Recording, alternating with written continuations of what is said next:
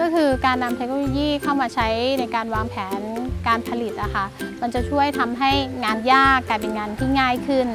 ช่วยทำให้ลดต้นทุนการผลิตของเราได้จริง เป็นการลงทุนที่ถ้าเราเฉลี่ยแล้วอะก็คือต้นทุนระยะยาวเนี่ยมันต่ำมาก แต่ความสบายใจของเราเนี่ยมันสูงมาก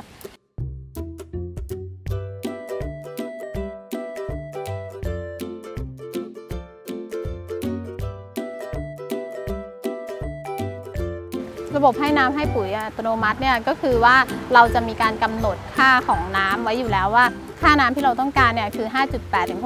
6.2 ถ้าสมมติว่าเล้งมันเกินไปกว่านี้อะค่ะ เช่นมันต่ำเกินไป มันก็คือค่ามันก็จะเป็นกฎเราก็จะต้องเติมเบสเข้าไปด้วยโปรแกรมอะค่ะ โปรแกรมจะเป็นตัวเเติมให้เอง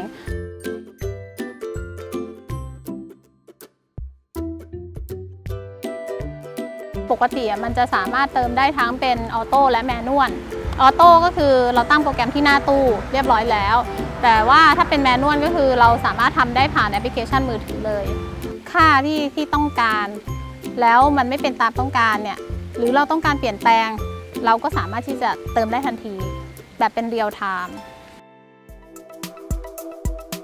ข้อดีของ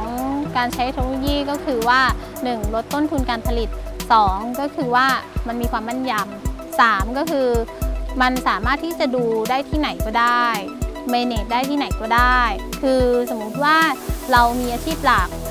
อยู่อาชีพหนึ่งแต่เราอยากทำอาชีพเสริมเป็นอาชีพเกษตร ซึ่งเราเราทุกคนคิดว่าถ้าเราเป็นพนักงานของแบบประจำอยู่แล้ว เราจะไม่สามารถที่จะทำอาชีพที่เป็นเกษตรที่เป็นอาชีพอิสระอีกตัวหนึ่งได้อะค่ะแต่ทีนี้คือถ้าเราใช้เทคโนโลยีมาตรงเนี้ย มันสามารถที่จะตอบโจทย์ได้ การใช้เทคโนโลยีจะช่วยบริหารจัดการทำงานแทนเรา